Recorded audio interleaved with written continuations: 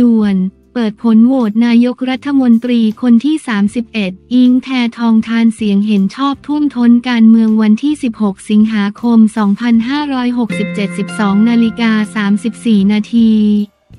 เปิดผลโหวตเลือกนายกรัฐมนตรีคนที่ 31 อิงแททองทานเสียงท่วมท้น 319 เสียงไม่เห็นชอบ 145 งด 27 ฝ่ายค้านมีงูเห่า 6 เสียงจากไทยสร้างไทยเมื่อเวลา 10 นาฬิกาวันที่ 16 สิงหาคม 2567 ที่รัฐสภามีการประชุมสภาผู้แทนราษฎรชุดที่ 26 ปีที่ 2 ครั้งที่ 15 สมัยสามัญประจำปีครั้งที่1เป็นพิเศษเพื่อพิจารณาให้ความเห็นชอบบุคคลซึ่งสมควรได้รับแต่งตั้งเป็นนายกรัฐมนตรี ตามมาตรา 159 ของรัฐธรรมนูญ โดยมีนายวันมูฮัมหมัดนอมทาประธานสภา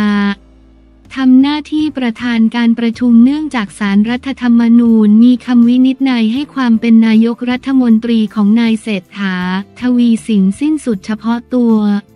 จึงทำให้ตำแหน่งนายกรัฐมนตรีว่างลงโดยนายสรวงเทียนทอง สสสแก้ว พักเพื่อไทยเสนอชื่ออ่อน ส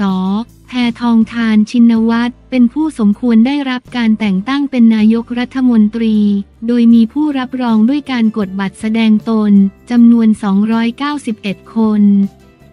ถือว่าครบเกิน 50 คนโดยไม่มีผู้เสนอชื่อชิงตำแหน่งทำให้มีเพียงนางสาวแพทองทาน เพียงคนเดียวในวันมูฮัมหมัดนอชี้แจงว่า จากนั้นเป็นขั้นตอนการลงคะแนนเนื่องจากมีบุคคลเสนอชื่อเป็นนายกรัฐมนตรีเพียงคนเดียว แต่จะต้องมีการลงมติจำนวนเกินกึ่งหนึ่งของสสที่มีอยู่ 493 คน คือต้องมากกว่า 248 คน ผู้สื่อข่าวรายงานว่าในการโหวตลงมติให้นางสาวแพทองทาน ชินวัตรเป็นนายกรัฐมนตรีนั้นร้อยตำรวจเอกเฉลิมอยู่บำรุงสสบัญชีรายชื่อพักเพื่อไทยไม่ขานการลงมติ ซึ่งไม่ทราบว่าเข้าร่วมประชุมหรือไม่ ขณะที่พลเอกประวิตยวงสุวรรณ สสบัญชีรายชื่อหัวหน้าพักพลังประชารัฐไม่ได้มาลงคะแนนเสียง นอกจากนี้ยังปรากฏว่า 6 สสพักไทยสร้างไทย ซึ่งเป็นพักฝ่ายค้านลงคะแนนโหวตเห็นชอบนางสาวแพทองทานทั้ง 6 คน ได้แก่นายชัดชาญแพทยาไทย นางรำภูตันติวนิชานนสสพักไทย สร้างไทยนายถากรตันทสิทธิ์นางสุภาพรสลับศรีสสยโสธรนายหลังธุรพลสสอุดรธานี และนายอดิศักดิ์แก้วมุงคุณทรัพย์สสอุดรธานี ทั้งนี้เมื่อครบ 493 คนแล้ว ผลปรากฏว่ามีเสียงเห็นชอบ 319 เสียงไม่เห็นชอบ 145 งด ออกเสียง 27 ซึ่งถือว่าเสียงเห็นชอบเกินกึ่งหนึ่งคือ 248 เสียง ส่งผลให้นางสาวแพทองทานได้รับเลือกเป็นนายกรัฐมนตรีคนที่ 31 ทำให้สมาชิกในห้องประชุมโดยเฉพาะสสพักเพื่อไทยลุกขึ้นยืนและปรบมือแสดงความยินดี และประธานสั่งปิดประชุมเวลา 12นาฬิกา35 นาทีอิงแพทองทานเกาะติดโหวตเลือกนายกรัฐมนตรีคนที่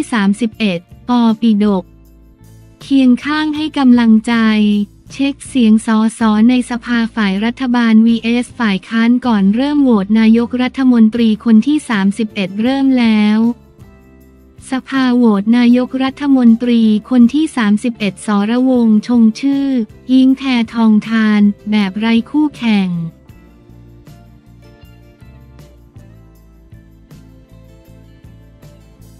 แบมแบม GOT 7 พร้อมมาก showcase แรกในไทยชวนอากาเซ่มา join feel พญานาคก่อนขำลั่น ทั้งงานเมื่อรู้ความจริงบันเทิงวันที่ 16 สิงหาคม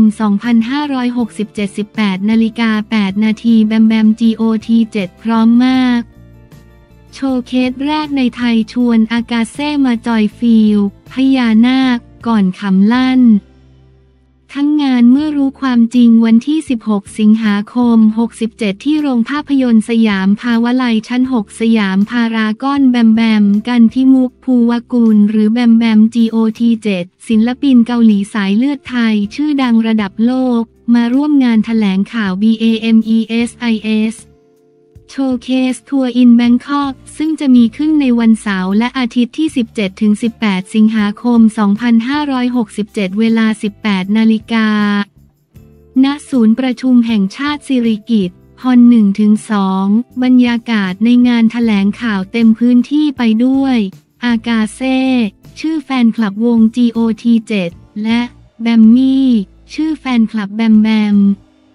โดยมีดีเจนุ้ยธนวัฒน์ประสิทธิ์สมพรรับหน้าที่พิธีกร หลังการเปิดตัวพร้อมเสียงกรี๊ดสนั่น แบมแบมได้เผยถึงกิจกรรม showcase ที่จะเกิดขึ้นในวันเสาร์และอาทิตย์นี้ว่าสำหรับ World Tour Showcase ผมเลือกประเทศไทยเป็นที่แรกจริง ๆ ตอนที่จบคอนเสิร์ตที่ราชมัง ได้คุยกับแฟน ๆ ว่ารอบหน้าถ้ามีคอนเสิร์ตเอาประเทศไทยเป็นที่สุดท้ายดีไหม แต่หลายคนบอกว่าไม่ไม่ไม่ต้องเป็นที่แรก ผมก็เลยโอเคงั้น เป็นที่แรกแล้วการได้เริ่มเราเป็นที่แรกก็ดีเหมือนกัน แต่ผมก็เป็นห่วงเพราะรู้สึกว่ามันถี่ไปนิดนึงไหม เกรงใจแฟนคลับแล้วก็กลัวว่าเขาจะยังไม่คิดถึงกัน ส่วนความพิเศษในโชว์เคสครั้งนี้ ผมก็จะโชว์เพลงใหม่ทั้งหมด 5เพลงจากมินิอัลบั้มที่ 3 B A M E S I S ให้ทุกคนได้ดูเป็นครั้งแรกแล้วก็จะมี stage หนึ่งที่เป็นการโชว์ครั้งแรกเลย ให้ทุกคนดู เดี๋ยวต้องรอดูว่าจะเป็น stage ไหน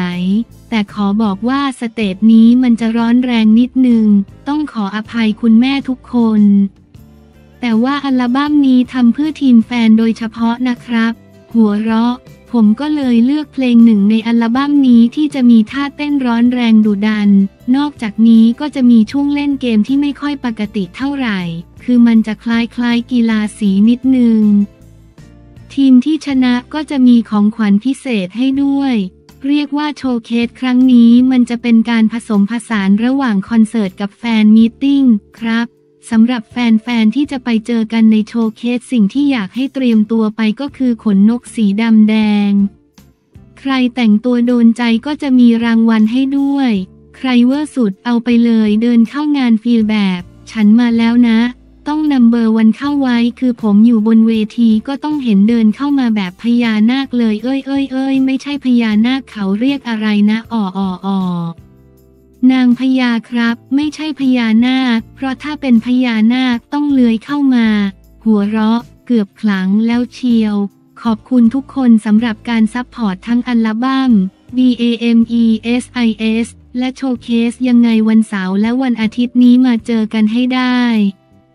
ผมและทีมงานเตรียมกันมาให้ทุกคนได้อิ่มท้อง ราะน่าจะเป็นโชว์สุดท้ายที่กรุงเทพกรุงเทพที่ผมจะโชว์ในปีนี้ ฉะนั้นอาจจะไม่ได้เจอกันอีกสักพักเลยสองวันนี้เลย อยากทำโชว์นี้ให้ทุกคนอิ่มไปจนถึงสิ้นปีเลยครับ แบมแบม กล่าวทิ้งท้าย